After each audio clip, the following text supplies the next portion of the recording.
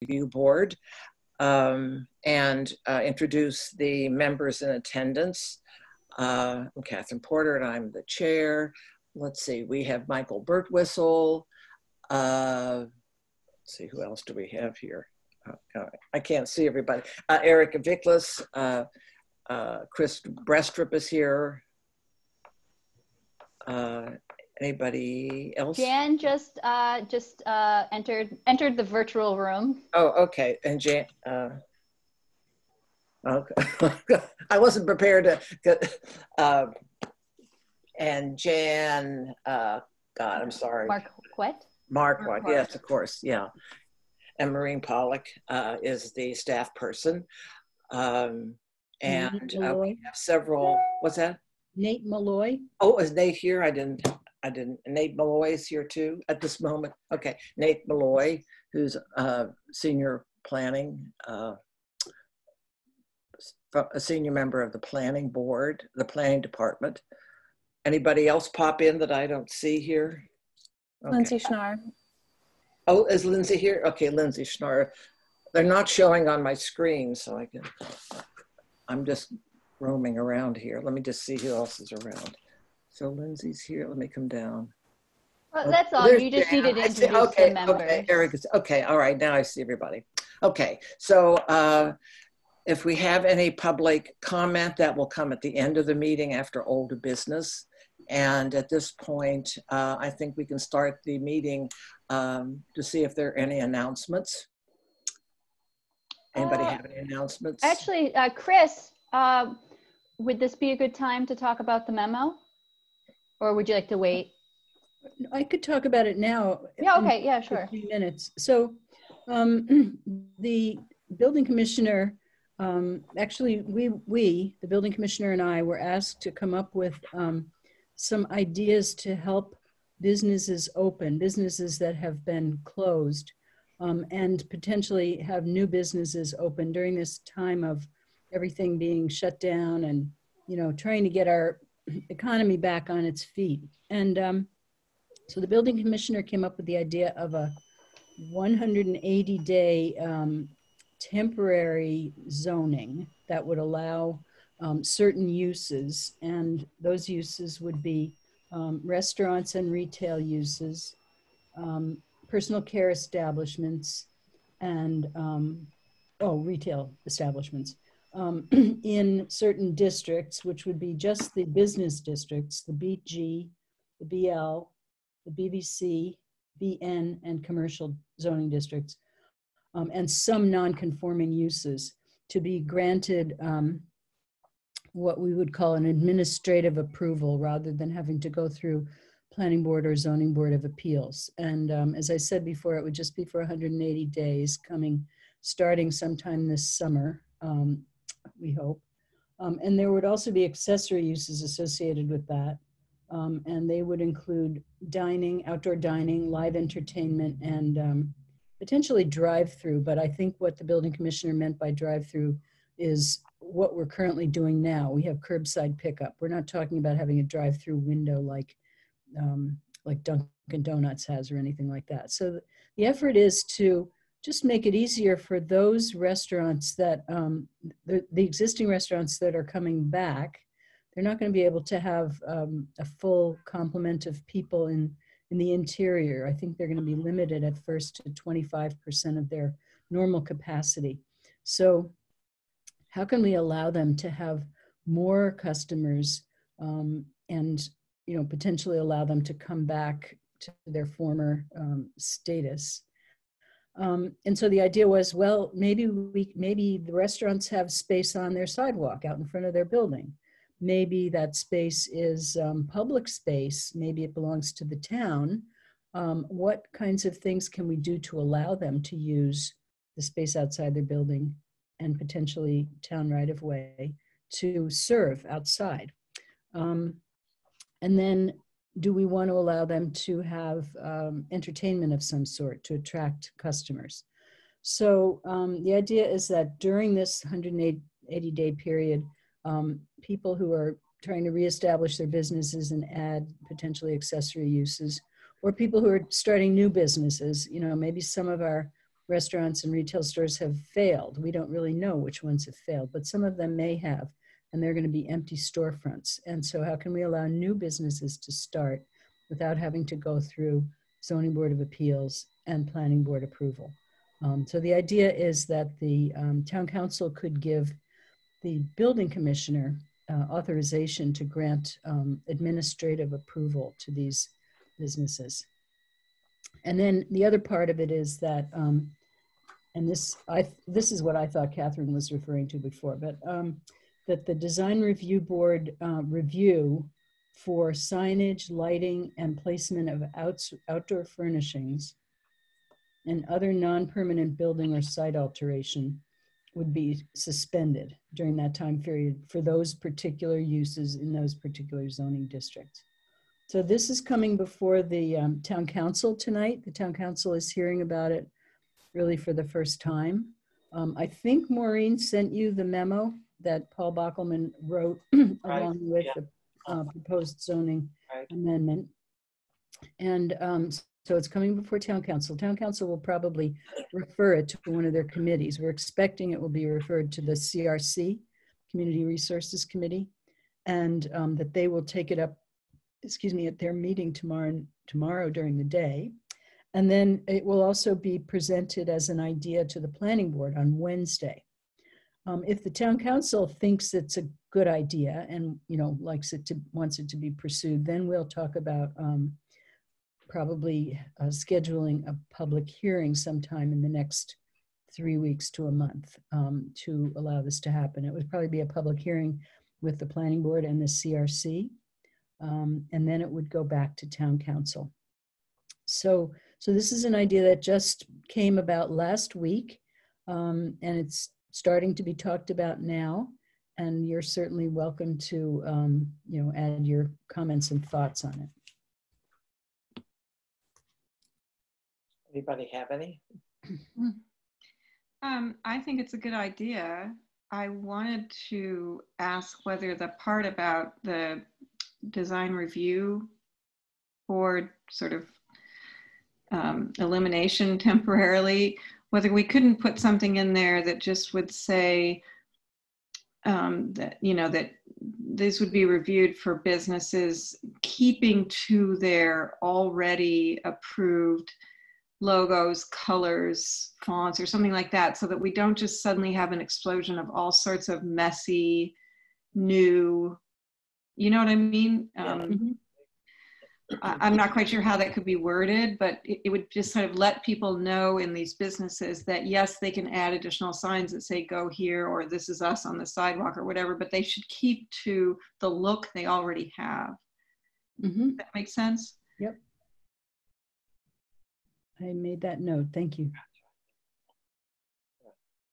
Does this go along with opening up the street that was proposed uh, by uh, Gabrielle um, earlier?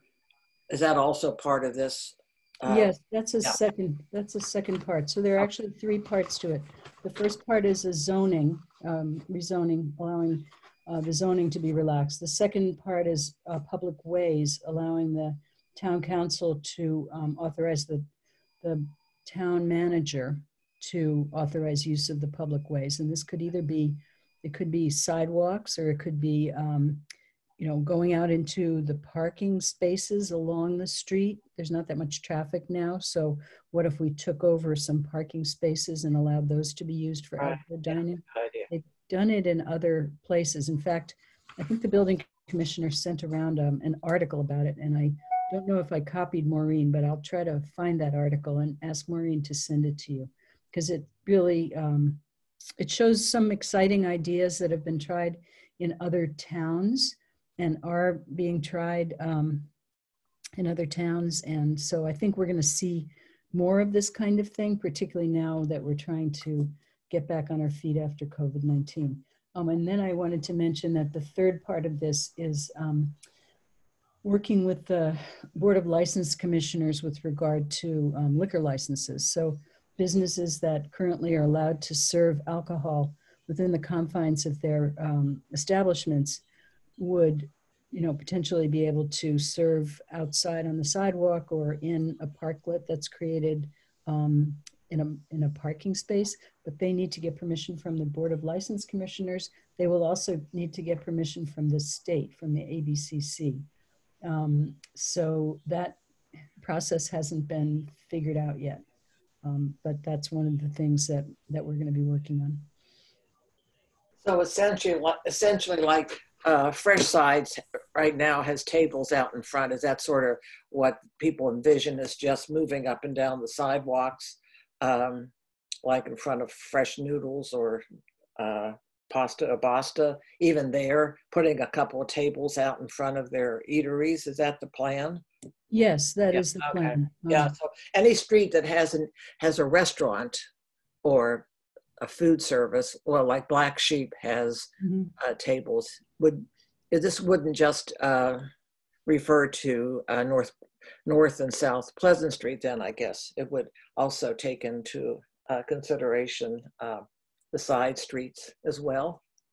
That's right. And it could also include places like we mentioned non-conforming uses. So there's a, a pizza place on, um, I think it's either Sunset Ave or Fearing Street. Maybe it's Oh, yeah.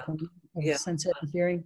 So they are a non-conforming use in a residential district. but They might be allowed to do something like this too.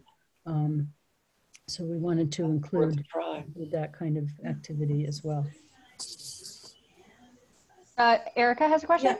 Thanks. Um, yeah, so one thing I wanted to make sure is that it's um, written in somewhere that we shouldn't um, hamper accessibility of the sidewalks. It still has to maintain Right. remain a priority. Um, and I love the idea of taking over the street or some parking spaces um, in part for that reason. The other one I was wondering is if the 180 days could be considered. Of course, we don't know what the colleges are going to do, but you know, imagine that this starts in June. This that would take us through September.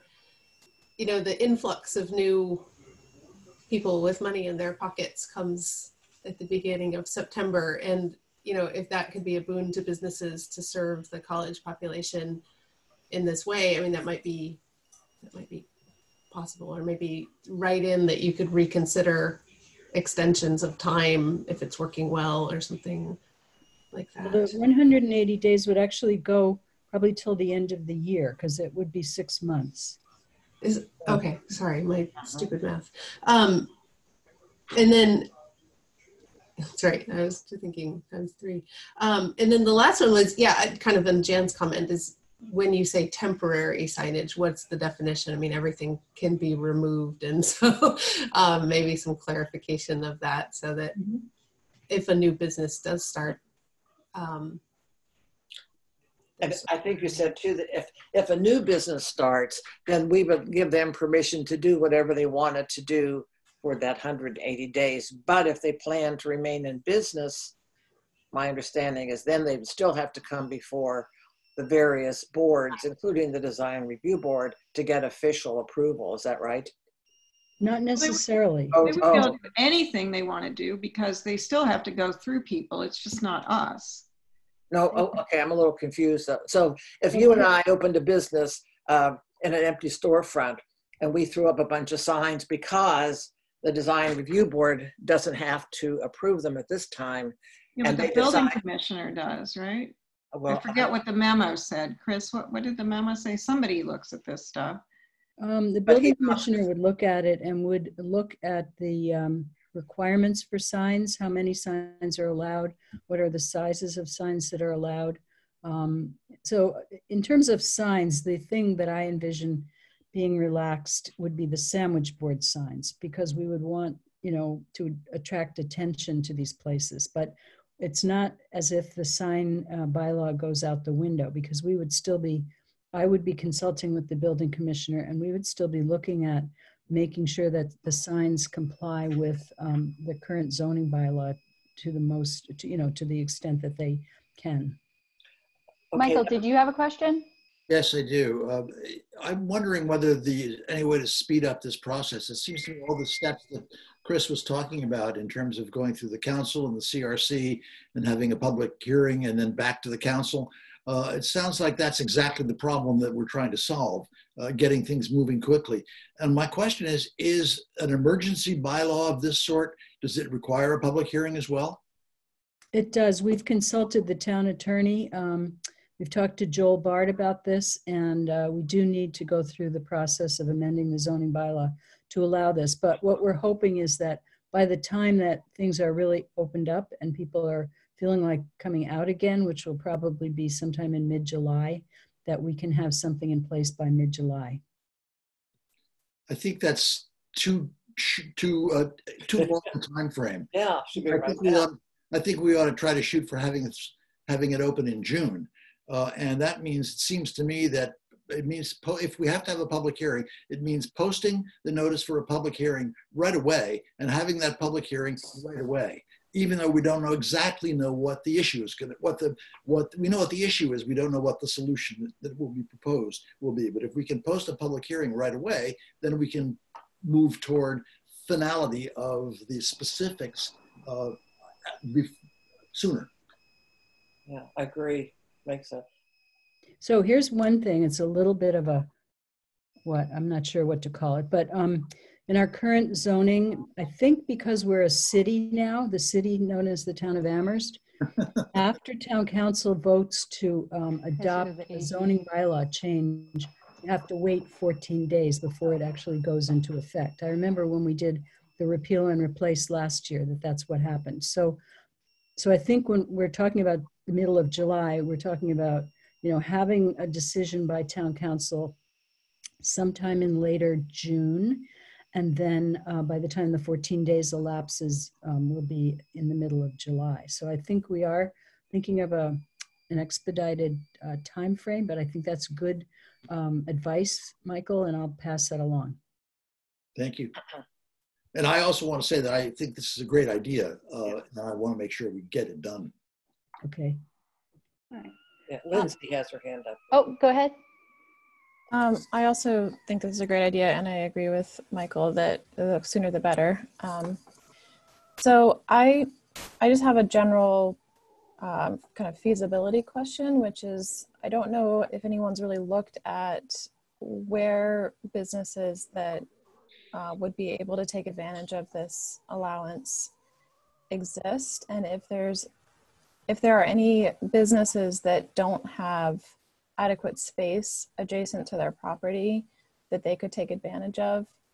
I think it might be worth just mapping out, not in any kind of extensive, time consuming way if possible, but mapping out, um, you know, where these places are and if there are businesses that really don't have um, sidewalk access or it's going to impede accessibility um, that there might be a way to provide them with adequate space that's um, perhaps, like you said, in the parking lot, but just to kind of even the playing field so that we don't have businesses that don't have the capacity to do this simply based on issues that are kind of beyond their control. I don't know if that's possible, but I think it's worth a look and an effort to, to see if that, you know, something can be done. Yeah, I was wondering when you mentioned pasta e basta, you know, it's so steep. I can't imagine putting a table and chairs outside there. Right. if Right. you're floating down the sidewalk, yeah. But yeah, but that street though has quite you know several places. Uh, Mhm. But I don't know how you know that. Well, if you took over that back parking lot, I mean, it isn't Right. very close for people to run in and out, but if they're going out of their back kitchen door or something, I mean, plus the, I'm just thinking of like Athens, they, they dodge across the street to wait on you and dodge traffic back, you know, I mean, it's, it doesn't have to be really close. if you're- then there's uh, the very popular Mexican restaurant back in that alley. Is that Bueno San? So, Mhm. yeah, and they have no, you know, I maybe they could put tables right there or go in the back. But I have to revisit. Uh, maybe I'm missing something here. But uh, so somebody throws up uh, a, a store, uh, and sort of anything goes. I mean, the the building inspector isn't looking at the aesthetics of the sign. He's looking to see how uh, how many signs you can stick in the window. And so somebody comes in the middle of Amherst and paints the building bubblegum pink. Uh, does that mean it stays? That's permit, you know, that's going to be okay forever? Or doesn't the design review board after this limited 180 days, click back in, don't they have to come to somebody to say, can, you know, we'd like to open up a store and we're gonna paint it bubble gum pink? And don't we have a say about that? I'm not talking about the temporary. I'm talking about the permanent, uh, where I think the design review board, uh, if we have any purpose in town, should be uh, given a chance to review what these owners want to do on a more permanent basis. Now, maybe I'm missing something, but seems like we're out of the loop.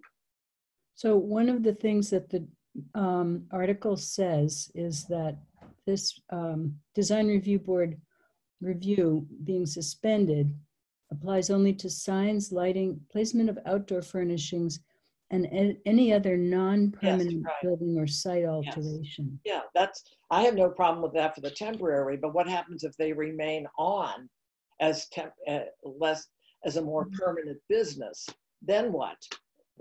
Well, why are we here if we're, we're- we're always looking at every little, we try to look at every little thing, although sometimes the colors get wonk, wonky, but uh, we're doing our best to present Amherst in its best light. And now let's suppose five different businesses come in and just throw up anything and they're there forever without any review. Uh, I have to say, I don't think that that's right, but maybe others have a problem with it. Well, part of it, if I may, um, is that the building commissioner is going to consult with the planning director, and that's me. So he and I will be putting our heads together, and I'm sure we will be showing things to Maureen and Nate as well.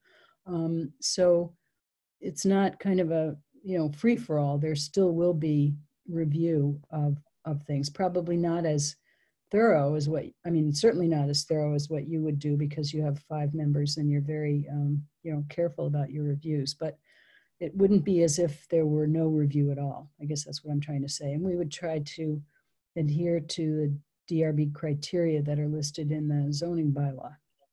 Also, it just states p- temporary things don't get what a I mean, review. But if somebody were painting the building, that's considered permanent. And then it would either come to us or you'd tell them they'd have to wait, right, Chris?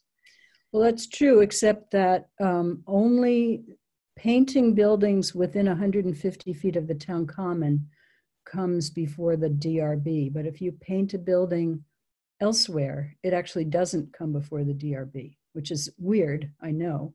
But um, the DRB doesn't, doesn't come, uh, have jurisdiction over paint, you know, uh, paint colors. And Porta came to us. Porta is more than They 50 feet. came sort of after the fact. and They they- did. I mean, we told them they were in violation, but they weren't really. They didn't need to get permission to paint the building purple, unfortunately. Oh, all right, well. they didn't know. good luck. I mean, I just, you know, I think either we do it, we do our job or we don't do our job. Uh, I'm, I have no question, no trouble with the uh, 180 days, anything goes because we need business. But, you know, after, after it's over, people are going to come to us and say, gee, how'd that building get there in the middle of downtown? Where was the design review board? And we'll say, well, you know, we weren't allowed to chip in. So. Well, it won't, it won't include buildings. Um, You know, we're not allowing buildings to, to go in like that. We're just, Oh, okay, it's only signage? I don't know. we're- All right. Yep. So it's not like One East Pleasant Street is all of a sudden going to be there and you won't have anything to say about it. Okay, all right, well, okay. All right. Uh, is there any other comments? And it sounds and it sounds like this is just the beginning of this conversation, and there will be a lot of opportunities for residents of Amherst to weigh in. Um, there would be a public hearing through the town council or the planning board. Planning board, Both. right? Uh, The town, uh, well, this- for a zoning amendment, the CRC needs to hold a public hearing. The CRC acts on the behalf of the town council. The Mhm. planning board also needs to hold a public hearing. The way I'm understanding it now is that the town council and this, and the planning board would, or excuse me, the CRC and the planning board would get together and hold a joint public hearing. I think that's what the current proposal is. So it could be that that public hearing happens as early as June 17th. And then it would go to town council for them to, um, you know, vote on it. Okay, But that's, that's the, the quickest timeline I've seen. sure. Okay, and um, so um, I guess we'll just keep uh, keep an eye on that. I can certainly inform any information that you provide me. I can forward to the DRB members. Sure. Um, yeah. So all right. So let's move on to our next uh, gi- uh, uh, agenda item, which, Okay. which is uh, let's see here, which is TD Bank North. Mhm. Um, Heather, uh, I'm going to now make you a panelist, which means that you may use your uh, camera and your your microphone. So you might you might have to click unmute and um, press the button that says uh, start video. Okay. There we go. Hi, Heather. Hi there, how are you? Okay. Good. Thank you for explaining that at the beginning, but I'm, I'm kind of used to that now, so. Okay. Yeah. Sorry. With all these meetings.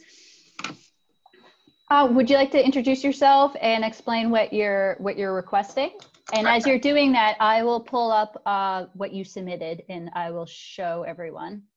Okay, great. Bear with me for one moment. Um, just- All this new technology, huh? I know. Yeah. Okay, so this and then this. And so you're from the sign co- company, Correct, correct? yeah. Um, Heather Dudko with Philadelphia Sign. We represent um, n- numerous sign companies.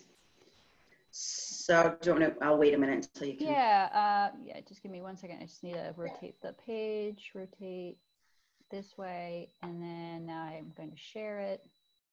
Share. Here we go. Okay, can, can everyone see this? Yes. Okay, So currently, there are two existing wall signs at the bank and a ground sign. Um, The proposal is to remove the two wall signs, one on the front elevation and one on the rear elevation, and replace them with these um, square logos that just say TD.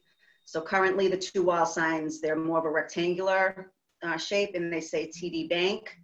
And they're proposing to remove them and replace them with this new style. So each sign is four square foot internally illuminated. The rear sign will be replaced at the same location, and the front sign, it looks like will be moved up above the doorway in the windows. Currently, it's kind of on the left side of the building. I think I did, so this is uh, Triangle Street would be located right here? Or, oh, no, right here, sorry. Right, this way? Can No, everyone see my mouse?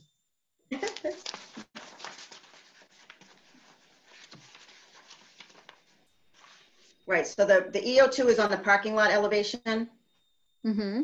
and the EO1 is on the front. Okay, so Triangle Street would be along here.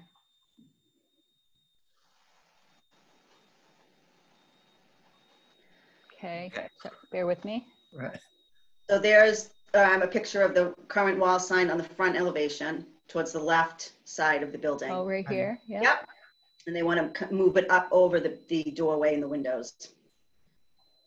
I'm going to interrupt you for one second and mention to the ZBA, uh, to, sorry, to the DRB members that at the beginning of this pandemic, uh, TD Bank submitted an application for uh, a replacement of this sign. Oh, that was a long time ago. Yeah.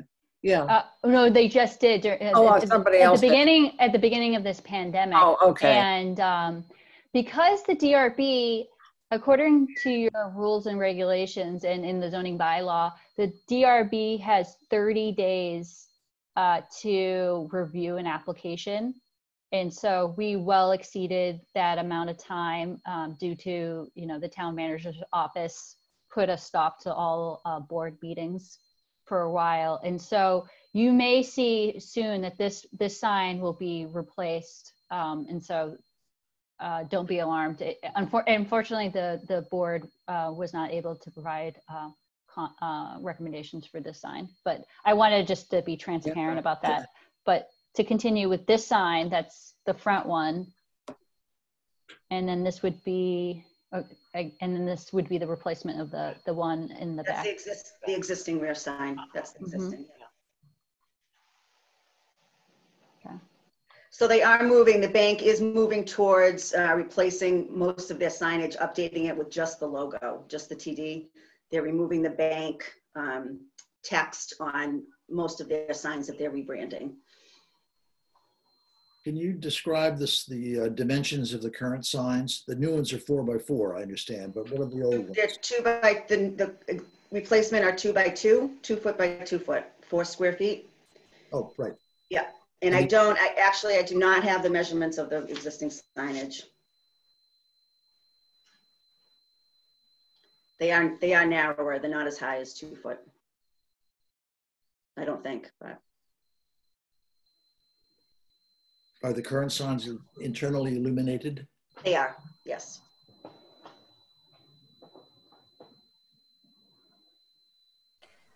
Um, are you are you still asking questions, Michael? No, I'm sorry. That's okay. Um, I could you go back to the view of the current front, Maureen, please? Sure. Um, hmm, I don't, okay, okay, we're going this way.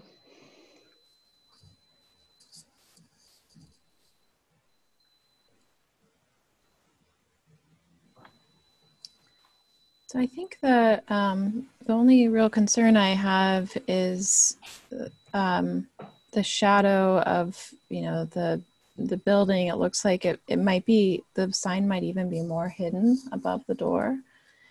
Um, it's a little hard to tell from this photo, uh, but I I do think that the space where the current sign is seems like a good location for a large sign of some sort to just as a as a business owner's um, interest to to find um, the most obvious location for signage. It seems like that that's a better location, in my opinion, than over the door. Um, so that that's my really my only concern. So could we ask the applicant to respond to that positioning of the sign? I, I don't, I was not given any extenuating reason why they want to move it over the door or over the windows. Um, So I would assume, I would presume from that, that they just, they just prefer to identify the entrance more than to have it off to the side, but I'm just, I'm just kind of presuming that from my work with them. I, if that's, the if the board feels that that's a better placement, I, I'm sure that that, they would agree to that. I mean, unless they had some extenuating circumstance that they had to, they had to reposition it. But I, I would not see why, why they wouldn't agree to that, if that's, if that's the feeling that it's a better placement there. I, I do I do hear the argument for you know trying to identify the door. I think that's important. Um, I think that can also, you know, maybe it's a second sign. I, I don't think that. Um, I, th- I don't think there's a disadvantage, at least from my perspective, to having a second sign, uh, so that there's one over the door and one in that area where there's no windows, or perhaps there's just something on the door itself, like a print I don't know what's there currently. I would assume they would have some sort of door vinyl with the hours, that typically they have something like that. Um, I would, I, I mean, I would suggest that if, um, that I'll, I can, we can condition it, if you want to condition it approved at that current location. And then if for some reason they, they respond that there are, there is some circumstance that they have to have it over the doors, then we'd have to just reapproach the board. Uh, Just to clarify, Heather, uh, the DRB provide, provides recommendations. And so these recommendations will be provided to the building commissioner as you seek the building permit application, approval for the application. Yeah. Um, I did originally submit the application already, and then it was, then it was referred back to the board. So what, what are other members feeling about the location of, of the wall sign replacement? Well, I agree with Lindsay. I think the, uh, the current sign is, is a better place. And it seems to me, since that's the only building in that, or that's the only business in that area of the building, the confusion as to where the right door is seems to be not a relevant uh, issue. And I think the sign would look better where the current sign is. I also want to say that I think the current, the replacement sign is a better looking sign than the original. Uh, simpler, cleaner, uh, does the job better. So I, I would suggest uh, that if the if the uh, uh, if the, the bank build if the bank uh, company doesn't uh, object that this that that sign be replaced where the current sign is. And I like Others? the logo. It's not, it's a clean logo, so I have no argument. It's whatever you all feel, the bank feels is best for them. Yeah, I mean, they're going to have a new sign out on the street there, that big one, um, which uh, presumably will be a larger logo as well. Uh-huh. And this is just a small two foot square lighted sign, almost like a light. It just, you know, like a light with a mark on it. Um, and if they want to have it over the door, it's true, it might be obscured by the overhang, but if it's lit and, and you're at street level, I Right. a problem with seeing it. So if they want to have a big sign and then just something that marks the door, that's fine too. I mean, they're gonna have to move the wiring, you know, it'll cost them more, but it does, it doesn't bother me. I'm just looking at the Google Street View. Mm-hmm. Um, I'm trying to get closer, but of course it's not working for me. I think, um, I had a very, very hard time getting these Google photos. I don't know. Some sites are so easy to get a picture and some sites, it's very difficult to get a street view. um, I think either location could work. I agree um, with Lindsay that there's something, uh, there's a visibility argument to be made to replacing the sign in its current location. However, um, of the two other businesses um, who have storefronts in that building, one of them does have their sign directly above the door, and the other one has um, their sign at the roof line, interestingly. Um, so it's already, we already see a variety of responses there. Um, the thing that will make it visible if it's ab- above the door is the fact that it's illuminated. Um, so I think I, I would be fine approving either solution. Um, any other members, or I think everyone No, provided comments? Okay. So, so what are we saying? That offer a suggestion, but doesn't seem to be, people don't have strong feelings. Do whatever, you- whatever they feel best. Is that how, is that how you're hearing it? uh, it sounds like uh, Michael, Catherine, Jane, and Erica all agree that, you know, if, if it makes sense for the bank to still locate it above the door, it sounds like everyone is is okay with it. Mhm. Um, it sounds like Lindsay would.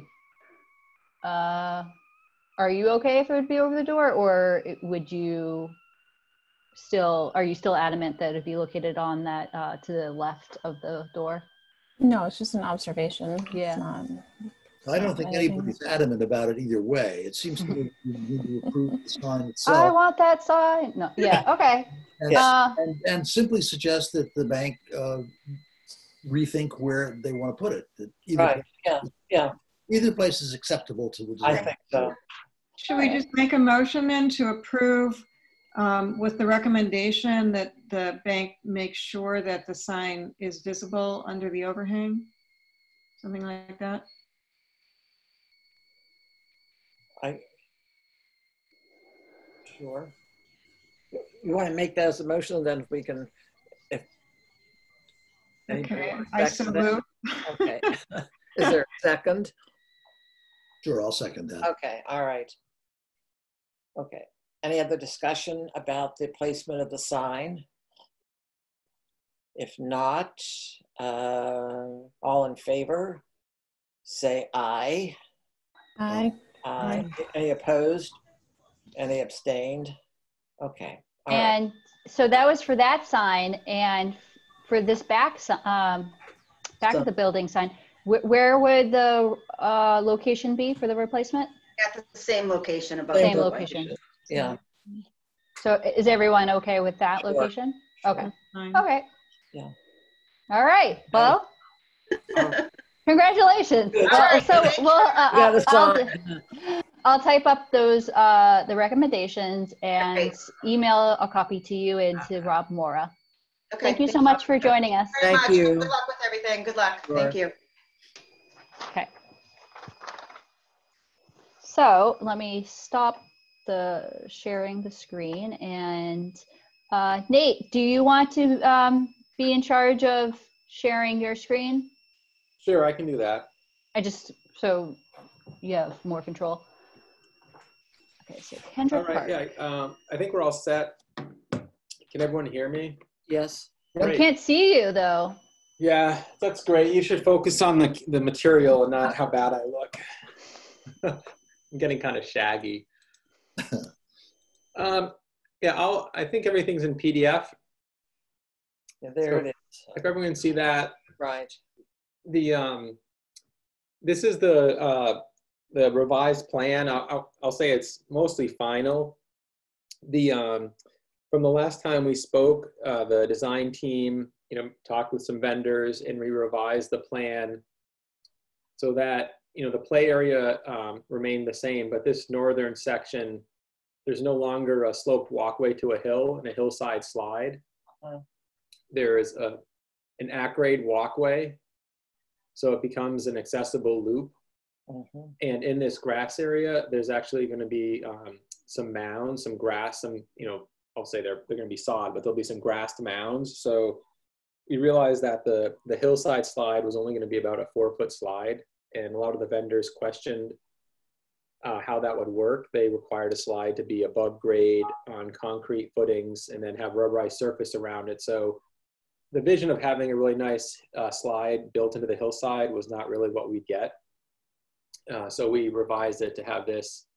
Uh, it also allows for, like I said, an accessible route and uh, future connections north along North Pleasant. So there's a few different areas where you know pathways can connect to this because it is substantially at grade. We're not bringing in as much fill. If we look at the plan, uh, there's uh, in this, I'll say this pink color, there's uh, granite uh, sitting walls and granite blocks as benches. So up here in the north, there's a, a granite, you know, a block uh, here. This area is a pea stone, um, kind of in place of a sandbox now. We have a pea stone area, and it's about, um, gosh, I think it's, um, is it? Uh, I know it's at least 12. I think I was gonna say is it 24 feet? I'd have to look at that. Maybe, maybe I think it's 14 feet diameter. Yeah, 14 feet diameter. And um, you know, there's some granite blocks around here. Uh, if we keep moving to the south, there's this amphitheater is still built into the hillside. So there will be a little topography here still with some granite uh, or stone um, benching. Uh, we're coming further to the south. There's a mix of regular, uh, you know, standard fabricated benches and then stone benches. I'm supposed to be a franchise player. Uh, I might, hold on a second. That's not me, but All right. let me mute everyone. All right, and then there's still Nate. some more, um, you know, combination of granite as we move along. On the other side of the, we've jumped over here now. There's a another uh, sitting wall that'll enclose a, a plaza area, and there'll be tables and chairs inside of that. And then there's some more granite blocks along here, along with the plantings. This forms a nice, you know, a, a barrier along North Pleasant Street. There's uh, there's a mix of five benches. So there's a bench here, located here along the play area and one along the path. And those are, will be, um, you know, fabricated benches. They'll be metal. They'll all have backs and arms. Uh, so they can be, you know, help people get up and down. In the orange here, there's a number of rocks and boulders. So the town also plans to add a number of rocks that can be used to, to climb on, to sit on, and just also as part of a natural barrier. Um, if we um, look along the edges, we're not proposing to use uh, a, a fabricated fence. We're going to use plantings and seeding and other uh, elements to create barriers. So, um, you know, I think a fence would be costly and also difficult to, you know, to install in terms of how it would fit in with the rest of the park. So along North Pleasant Street, you can see the planting beds. There's envisioned, um, you know, ground cover with um, understory trees and shrubs, and then a few larger trees. There already are some existing trees here. Uh, so, you know, the park design really responds to the topography and existing trees and tries to preserve as many as we can. Along um, on the east side, so East Pleasant Street is here. In this area, which isn't shaded yet, this is a naturalized play area. So um, it even starts here. There'll be some vertical stumps and, um, you know, more planting here for kids. Uh, these vertical stumps will cross the path and lead into an area that is all wood mulched. And there'll be um, logs that'll be, um, you know, laid down on grade and maybe stacked on top of each other. They'll be secured with piping that is anchored into the ground, so like a threaded rod that, that is then buried. So this becomes an area with stumps, logs, and then also some other rocks uh, and granite blocks that'll define this area. This area is something that the playground vendors will not um, they won't endorse necessarily as a playground because it's something they don't typically do. So it's something that the town is going to work on with the contractor. You know, we've researched what is a safe material under here. So there'll be about eight inches of a wood fiber for a, a, a safe surface. Um, and most things will be, you know, less than two feet high. But, you know, most playground um, vendors will not use real wood. Um, they don't whatever reason they don't like you know it is it is it, it does tend to rot and splinter and doesn't have the life. So they you know Pulaski Park did use it and we know it can be used.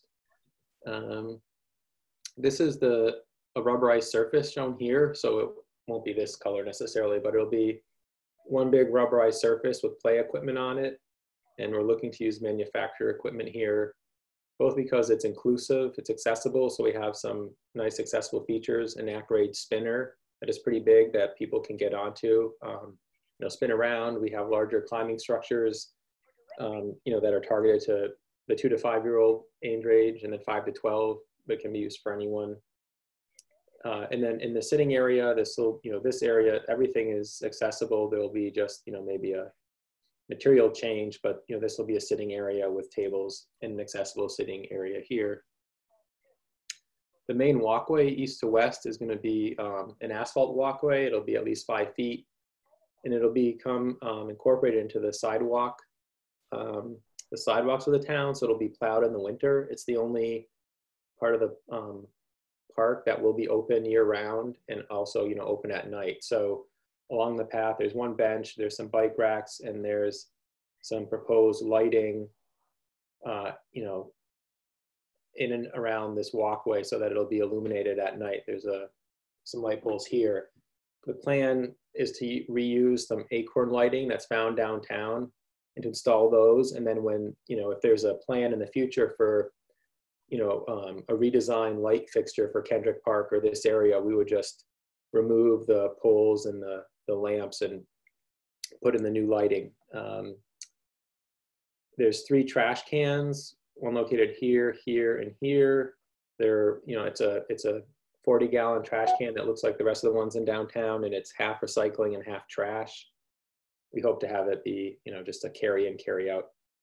Um, there's an entry sign located here and this little planting island. You know, one on one side there's, um, you know, welcome to Kendrick Park and some grant acknowledgments that need to happen, and on the other side will be playground rules and regulations. I think according to the standards, we need to identify the play equipment and have a few safety guidelines. Um, the playground vendors like to have a freestanding sign kind of in each play area, but we're going to have it all on the backside of the sign so it reduces the number of, of, um, of structures and signs.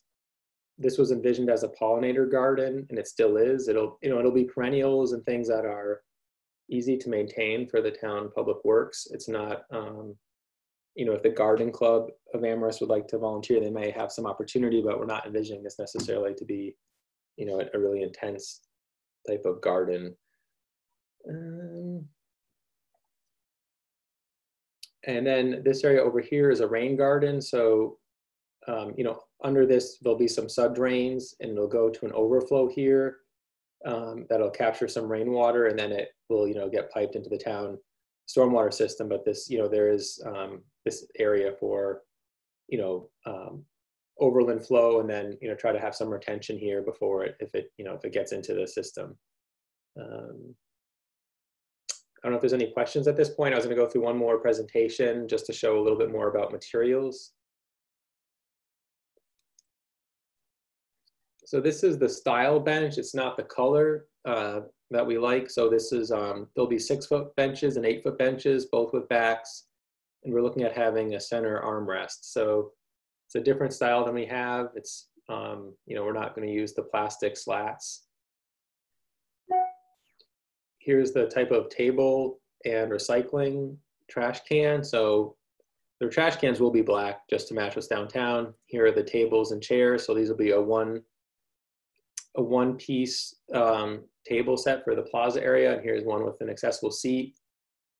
You know, I guess they can be bolted down. And when we presented to the planning board, it was recommended that they somehow be secured, even though they are a few hundred pounds. I guess there's concern that someone may take them in terms of colors, this may not look very nice, but um, the manufacturer offers about a dozen colors. Most of them are pretty bright. Um, these are kind of the, the colors that the team was looking at. Um, I haven't, I've asked them to submit more, more images, but you know, these are the colors we would choose from for the tables and chairs.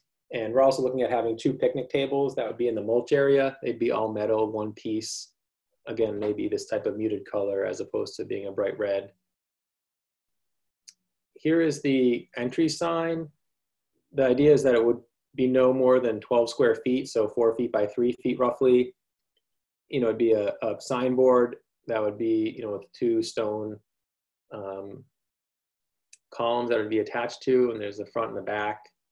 And that has yet to be worked out. I mean, I think, you know, feel free to comment on the general style or design. We want it to be something simple.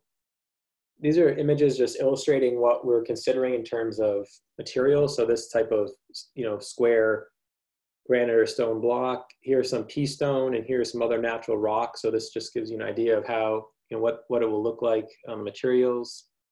Here's, you know, if, if in the amphitheater or the curved seating, uh, this is the type of stone we'd be looking at. We're working with a stone vendor now just to get cost estimates and information on installation. In terms of the grass mounds, we drew inspiration from a few different areas. This image here is Washington Square Park. It's synthetic. Um, here are some more natural ones. So, but there will be two mounds in that northern grass area. And we're looking at using, you know, installing it with sod. So it'll be something like this, not not too extreme, but something kids can can explore. These are images of Pulaski Park, but it gives you an idea of, um, these were uh, white oak and locust that the, the city provided and they're staked into the ground on uh, wood fiber. So this is something we're looking at for our agility area. And here's a view again. So here, here are the stumps that are vertical and the stump is um, half the height is exposed and half is just direct buried in the ground. And so we would you know, mimic the same installation and have it be both in grass and on wood chips. And again, this just shows you the difference of material. In terms of the playground area, uh, we like a lot of what this concept has, not necessarily the colors. Um, here's the accessible spinner. So it is something that is pretty big. It is at grade, and so people can enter it from a few different areas. It does spin. Uh, we're asking for a new feature instead of this tractor, but this is a spinner, maybe another spinner or something small here. This is the two to five age group, and this is the five to 12 age group structure. People have commented that they don't like the lime green color. That's That can be changed, but we do like the different elements here.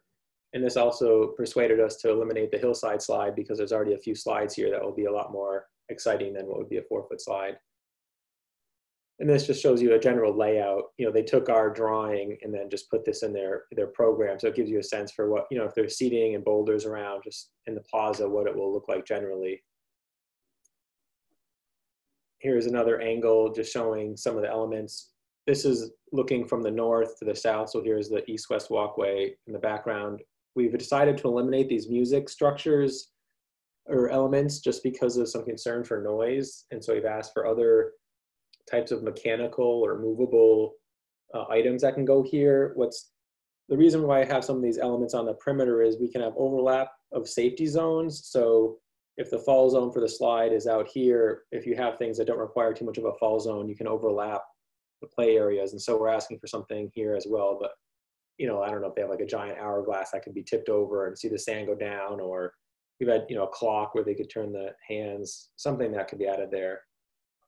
Um, and this is just a view looking from the walkway. So you know, this is actually a pretty big structure for the older kids. There's some climbing here with slides, and then there's a, a pretty high net, actually. It's a cabled thing that kids can climb over to get to this taller structure that has slides something else that climbs. Um, here's the spinner, and here's the two to five year age group that has, you know, a, a roof shelter, which could be a different type of roof material. Um, you know, a rock climber and some steps up and platforms and bars. We've asked about um, different roof material, if they had like a perforated metal, which I think they have, that could mimic what's on the spinner. So some designs have taller uh, posts here with a perforated uh, roof just for some shade. This will be slightly shaded from the existing trees, but I think, you know, for um, uh, during the central time of the day, it will be in direct sun. Um, it's hard to get shade in the playground if unless you're adding it or you wait for uh, trees to mature. And I think that's it right now. Uh, Lindsay, do you have a question or comment? Oh, you have to unmute yourself. Um, hi, this looks great. I just had one um, primary concern is, and that is the way it's shown currently. It looks like the sidewalks kind of come off of this big play area instead of having, um, like I wonder if you could just have a perimeter sidewalk that allows for people to go along the pathway without having to be inside of that play zone? Right. So we can, okay, yeah, that's a good question. So we've gone back and forth about this. Um, the idea is we could do a different rubberized surface material that would have an edging that would just continue along the perimeter to denote a walkway. So the reason why we've done this is our playground area, this play area is actually pretty small. And so to get some of the equipment we need, we actually need the, the rubberized surface to go to these edges uh, for the fall safe zone. So, you know, in one of the plans, for instance, if you just imagined, you know, a five foot offset here to wrap around this whole thing, we could do that and have that be a colored, a different material, different rubber color. Um, so then they know that it's the walkway. But we're, what we're trying to do is there's an existing tree here, here, and here, and we're really trying to minimize, you know, pushing out pavement to have another, you know, another sidewalk. So I don't know if just having a different color rubberized surface, you know, they pour it so that it would become a continuous surface. You know, they would, would just be a, they pour one then the other. Yeah, I mean, I think just something that gives people a sense that there's a, a space for them to walk, uh, whether it's somebody in a wheelchair with a stroller, people that might be a little concerned about kids running around and um, having collisions. Sure um, also just kind of it it gives I think an indication that there's this path that's continuous and loops around and it, it might pull people toward that path beyond. Right, that's a good point. Uh, I also wonder. Oh, sorry. sorry. Yep. yep. Go, continue. Con no, continue. um, I also wonder if I like the stump idea, and I wonder if that line that you're showing, uh, um, it's not really a line, but the the stump um, that kind of it's down below mm-hmm. that connects the pea stone to the play area. Mm-hmm. Yeah, I'm wondering. Um, like, I like the idea that maybe there's this kind of secondary loop mm-hmm. that allows people to move from the play area to the pea stone, um, framing that that area between those two trees. So um, I'm wondering, kind of, other than this, the stumps, is there is this just grass or is there kind of like another almost like a secondary path that people could take Yeah, no, the uh, not you know it was you know as an accessible path it would be this. Right. The idea would be that there's you know someone can you know the idea is that someone would could this is at grade so this would be wood fiber someone can you know could walk in this wood this is all wood fiber area maybe Mhm. we bring the stumps out here and create more of an entry and then they you know, this could be an all a wood fiber area Yeah. I think that would be nice. Mhm. And then my last comment is that I, I, I question taking the sandbox out and putting in just another hard surface because I think you have that um, in a few locations with the patio and the amphitheater. Oh, so Um, you mean so this right here is actually a loose pea stone area. So it's something that you know be I don't know whether, whether it, I don't know if it's six inches or whatever it is. A pea stone could be eight, but it'll just actually be loose pea stone that kids can play with. It won't be a like a, a I see. macadam or anything. Okay. Yeah. I don't, I don't know what, what's preferred, sand or pea stone, but I like the idea that there's something soft there that can be Mhm. played with. Yeah, the sandbox. We had a lot of comments about the sanitation of it and the maintenance of it. You know, would it be covered? How is it disinfected? Hmm. Um, But we, you know, we, I think we like the idea of pea stone. Just, um, you know, it is small and it's tactile and it's loose. Kids can still play with it. Okay, thank you. Uh, Michael? Uh, Thanks. Uh, One, uh, one question and one comment. Uh, The question is about the um, wood fiber uh, bases. Uh, Is that different from wood chips? And if so, how? The, um, it is, you know, they're supposed to, wood fiber is supposed to be, um, meet a certain specification in terms of size and compaction. And so that, you know, like wood chips, you can just have, you know, like Wagner wood chip up a tree and they could be, you can have some pretty big wood, pieces of wood in there and rough bark. And wood fiber is supposed to be a finer material. Um, you know, it, it has to be raked out so, you know, it can move. And so over time you have to replenish it and, you know, there may be some weekly raking to keep it uh, in place, but the difference really is the the texture and the you know the fineness of the material. Okay, Thank you for the information. Um, A a comment about the sign at the entryway. Mhm. Um, The uh, CPAC, Community, Community Preservation Act Committee, uh, has been uh, concerned with the fact that many of the things that it supports do not get any recognition. And it would be important to CPAC if the fact that this park was in part uh, provided by Community Preservation Act funds were stated on some signs at some point somewhere. So I would hope that that could be put on this, this welcome entry sign. Oh no, that yeah no great that would be on there, and then the park grant that's funding this also requires, you know, um, some language that says that the Commonwealth of Massachusetts Park Grant Program has helped fund this uh, playground, and then they their logo is like a four inch round circle with some stuff on. I guess I could I could pull it up, but they they don't necessarily they don't need a big um, they don't need big language, but yeah, we've we've talked about having the CPA. CPAC doesn't need big language either, and it doesn't have a logo. So just a, just a line saying, and funding from Community Preservation Activity. Oh no, thanks. That's yeah, that's a great idea to recognize that. Thank you. Uh, Erica? This is great. Thank you for walking us through it. Um, I'm wondering if you could provide a little clarification for me on two points. And one is, um, what's the ground surface between the amphitheater area and the mound area? It's shown in white on your drawing, and I think I see some the the tree stumps continuing. And so the idea would be this could be a planting area. It's okay.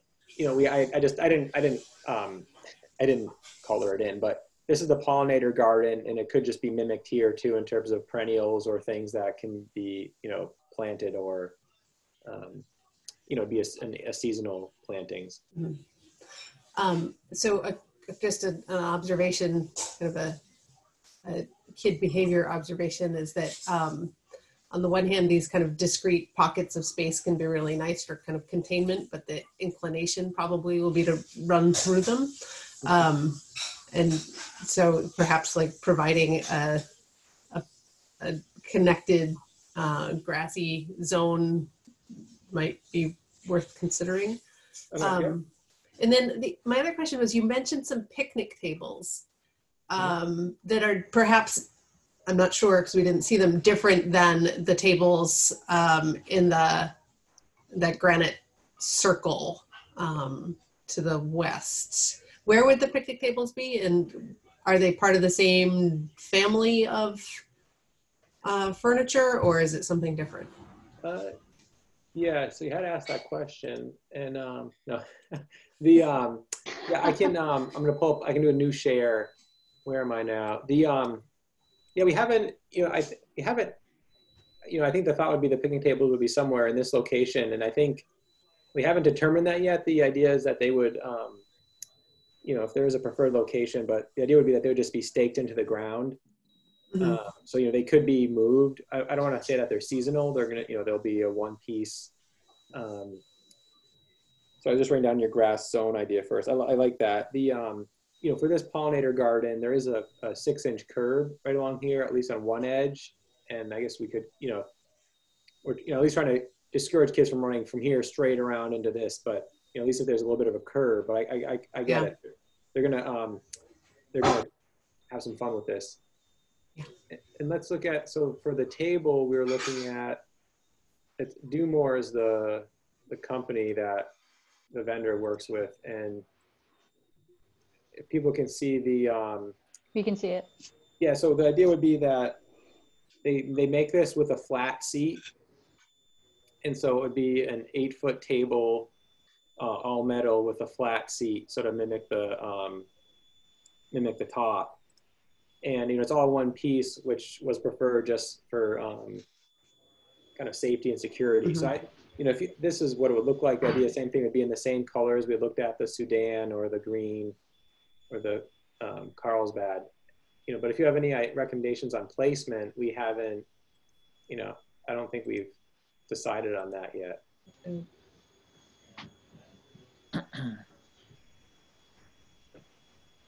So, you know, I can go back. So, you know, it's interesting. So that this one vendor, if we're on Dumor, they, if we look at the tables, they, they have a lot of options, but a lot of them are um, plastic or they're separate pieces. And so for picnic tables, you know, you, we were joking around, but just going with like the traditional kind of picnic table. But these are the options, if everyone can see, that they offer. Um, Or could they just be put out in the ground? I mean, and not necessarily within the confines of, or maybe that's what you're thinking, not necessarily within the confines of the playground, but just there, someplace else in Kendrick Park or uh, close to the Perhaps, playground. perhaps on the edges of the playground. Yeah, yeah, yeah. yeah. somewhere in this area. Yeah, there were some comments at the planning board that you know, although this is provides some seating, it's not a lot, and so we're thinking that having some, you know, at least, you know, Public Works had said that you know we could do two picnic tables, maybe one goes here, maybe Right. here, and we could see the use and demand, and it could also be something that in the future, if we gauge that there's more interest, we could add them. Right. yeah. I love the idea of all the plantings, but I'm just so, I have this tentative I, feeling that uh, Amherst doesn't, I don't think we have a good track record of maintaining what limited plantings we have. And if it weren't for the bid and the garden club, uh, we probably wouldn't have anything. And my worst fear is that all these shrubs and flowers will be put in and then they will just get shabby and run over and broken and look worse than having nothing. And I don't know whether there's some kind of a commitment from Public Works that they're really going to come in every week and see things are watered and pruned and because kids are going to be playing and they're going to be running through things. They're going to bring, they'll probably have a dog or two, and before you know it, it won't be what you might have visualized. And I don't know what your thinking is on that. That's just a thought I have. No, the um, yeah, I mean, we're looking at you know, somewhat uh, hardy plants in terms of uh, you know the need for watering or maintenance, but I, I do agree that they can get beat up with the use on kids. Someone has suggested kind of like a shorny, uh, uh, uh, uh, sharp uh, shrub like a hawthorn with Uh-huh. you know with prickers and things, but that's not something we're only go in there once. we're gonna go go there. You know, that would really deter kids. Um, Yeah. So yeah, I think you know the idea would be hopefully they you know once they're established, um, they'll need um, less maintenance. But I, you do bring up a good point. The planning board asked, "What's the maintenance cost of this?" And we haven't. I mean, with the budget that. looking like it is, I, it's hard for me to imagine somebody from Public Works is going to be up there paying too much attention to that or any attention at all. Uh, and maybe somebody will adopt it as a project. Yeah, or I think, you know, like the planning board asked, what is the cost of this? And we don't have that exactly, but I do think that as Amherst improves its parks, it, you know, there is going to need to be more uh, money put into capital and operating for this. So be this year. Yeah, I mean, even, you know, Groff Park, we've said that, you know, we're putting in a really big addition at Groff Park and we've done some work at Mill River that all that needs maintenance. And so it's something that the community, you know, I think is realizing, but, you know, we, I, I, like to think that probably in the 70s and 80s, Amherst had really great all new parks, and then we haven't done much since then. And so as we start to revitalize them, it will take a little bit of extra maintenance, you know, for the foreseeable future. Um, but yeah, I, I, I, am hopeful that it'll be maintained, and we're like I said, Public Works and Alan Snow, the tree warden, is coming up with a plant list for kind of hardy and durable plants. Um, it looks like uh, Christine has, Chris has a question or comment. Chris? Oh, I just wanted to say just what Nate said. Um, we have had two members of the um, DPW staff, um, Paul Dethier, who's actually listening right now, and also Alan Snow, the tree warden. So Paul is a landscape architect and Alan is um, a registered tree warden. And they have been uh, working on this design with us. So I'm hoping that they will, um, you know, bring the care that they have brought to the design to whatever maintenance is necessary. And Alan is really the person who is um, in charge of maintaining parks. Mm-hmm. I think yeah. he's got a, as they say, he's got skin in the game. So maybe he'll really work hard to maintain this park. Can I just interrupt for one second here, mm-hmm. Maureen? Oh yeah, sure. Yep. Sorry. Um, I, I think it's great and I vote yes as it stands. I think you're coming along. Unfortunately, I only planned on this for an hour. I'm, I'm in Connecticut. I'm supposed to be taking care of my grandson. So I need to leave the meeting now. Okay. Um, Just bring your grandson into the meeting. Well, I thought about it, but I don't know. He's only 15 months. Um, well, uh, Jane, uh, if you have any um, comments that you come to mind that you wish you had said, feel mm-hmm. free to e- email me and I can forward that on to Nate and Chris. Okay, I think I think it's coming along really well. I like all the changes you've made since last time we saw it, and um, it's great. It's going to be wonderful. So thanks. Thanks. Sorry. Thank you.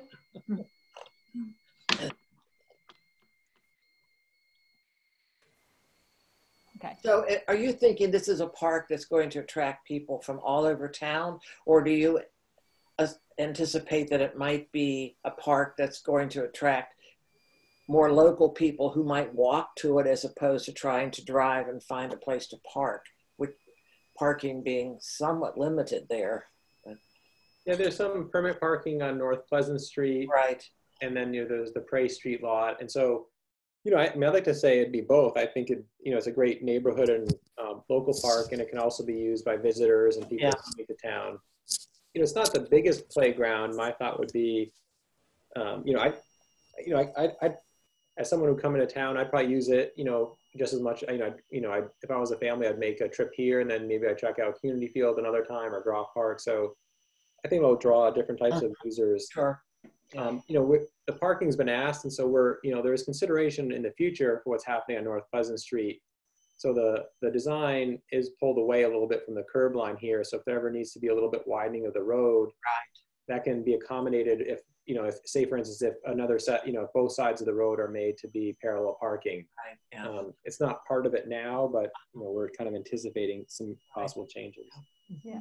I would just add that I think this could be a nice attraction for young families either that live in Amherst or in the valley that you know come here and then maybe they get lunch or dinner or they just walk around town but it's just another another activity for the uh-huh. family to uh-huh. enjoy yeah and imagine if there's outdoor dining yeah. and this yeah. it, could be quite nice yeah. somebody at, i when you gave this present i know you've given this presentation so many times but there was i thought a, uh, a good suggestion. Somebody who, who had seen signage from San Francisco that had a sign up. Uh, you have to be accompanied by a child in order to come into the park, which mm-hmm. means, you know, there, we know there are a lot of people uh, who really are looking for a place to hang out all day because there's no place to go? And are you considering that aspect of this whole thing, the, the picnic benches and the tables being used by people who aren't bringing in children?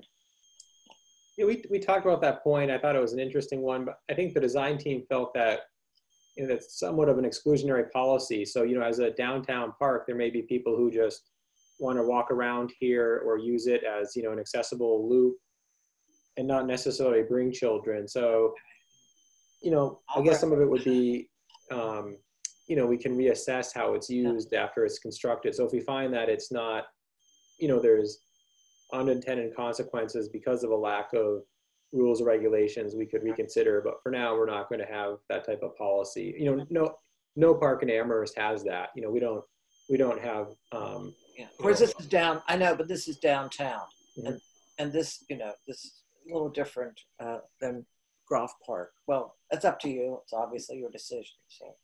I mean, my thought would be though, you know, to me, this is the, the if this whole thing's the playground, I would hate to say that someone, you know, say a couple without kids wants to walk through here and maybe sit on this bench for a minute and have a snack. I mean, that Yeah, just seems like yeah.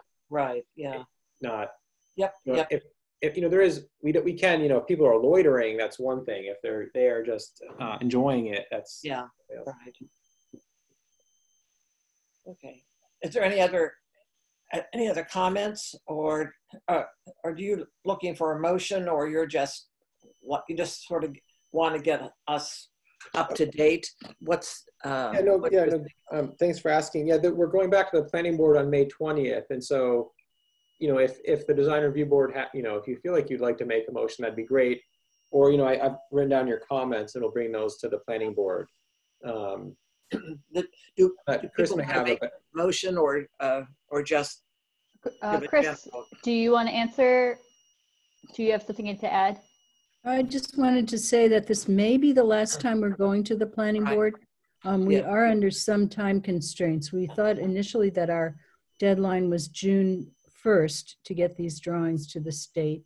The state is giving us probably till the end of June to get the drawings to the state, but I don't think we're going to be going back to the planning board again unless the planning board wants us to come back there. So this, I guess what I'm saying is this may be your um, last opportunity to Wait. vote in favor or make a recommendation or, or whatever, because the planning board might vote to accept this on Wednesday.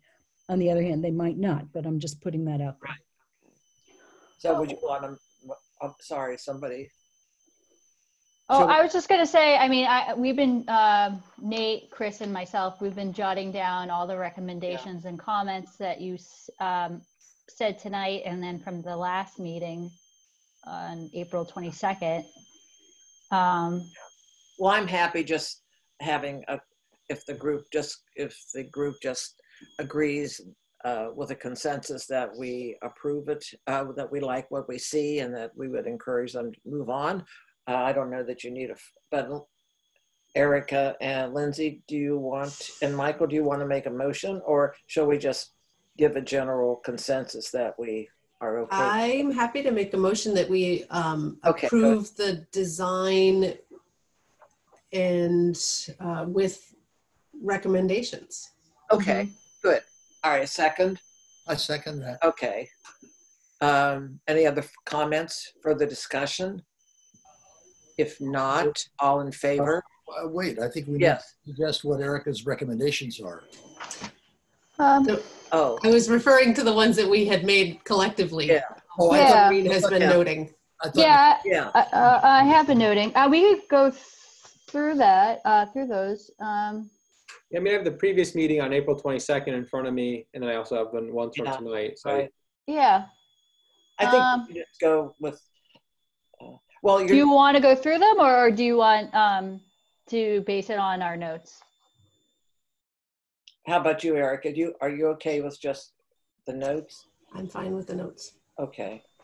Michael, do you need to hear the recommendations or are you, it's fine. Go ahead, Okay. go ahead. all right. You're I don't think there were too many, but, uh, No. okay, all in favor then, let's vote. All in favor? Aye. Aye. Okay, opposed, none. All right, it's good. Great, yay. Thank you very much.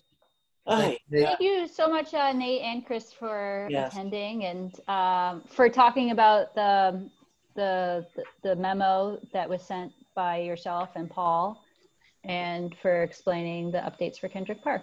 Mhm. Yeah, I have a general question before we can adjourn. Um, I'm not. Uh, I've only used the OneDrive only a few times, and every time I send a link to people, I always wonder, "Ooh, I hope they can open it." Um, are people able to open the the link that uh, that I've been sending? Not the, I didn't get to, I didn't get to open the latest one and I'll have to work on that. But the other ones, I mean, obviously. So But I'll, they have okay. And do you need a password or anything? Is it just No. you just No. click on it and it brings you right there? Okay, that, that's great. I just wasn't exactly sure. Yeah.